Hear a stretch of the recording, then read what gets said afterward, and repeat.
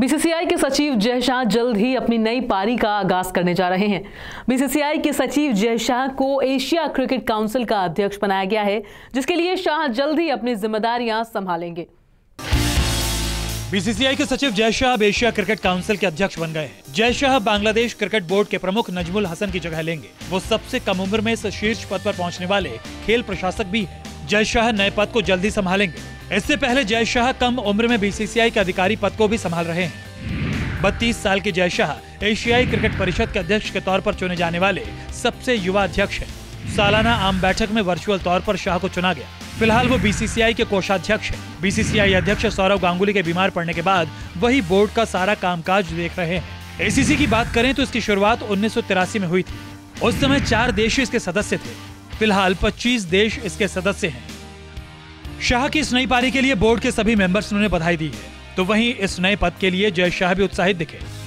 और उन्होंने कहा कि मैं सम्मान को स्वीकार करता हूँ और मैं बीसीसीआई में मेरे सम्मानित सहयोगियों को मुझे नामित करने और मुझे इस प्रतिष्ठित पद के योग्य मानने के लिए धन्यवाद देता हूँ। इस क्षेत्र में खेल को व्यवस्थित करने, विकसित करने और बढ़ावा देने के उद्देश्य से गठित एसीसी तेज़ी से बढ़ा है। मैं इसे और भी आगे लेकर जाऊँगा। शाह जल्द ही अपने नए पद को संभालेंगे। भारतीय क्रिकेट में जय शाह ने बहुत कम समय में अपना नाम बना लिया है। भारत के अहमदाबाद के मोटेरा में बना सबसे बड़ा मैदान जय शाह की ही देन है। जय शाह ने इस बड़े क्रिकेट ग्राउंड को बनवाने में मदद की थी। इस मैदान में 11 पिचेस हैं। ये मैदान 306 डिग्री फैला है। मैदान के किसी भी कोने से पूरे मैदान को देखा जा सकता है।